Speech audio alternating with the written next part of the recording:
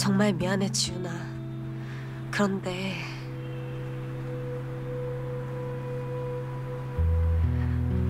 아무래도 나 강태인 좋아하는 것 같아.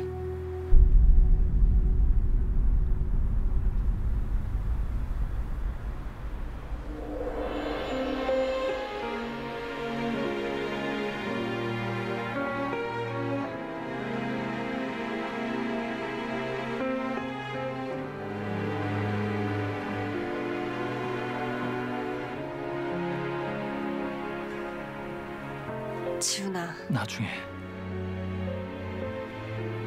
들어가. 미안해. 나도 몰랐어. 내가 강태인을 설마 아닐 거라고 아닐 거다 했는데 그만해. 나 너 상처받게 하기 싫어.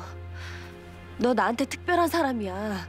너 없었음 나 여기까지 못 왔을 거고 그리고 그만하라고. 왜 하필 강태이냐?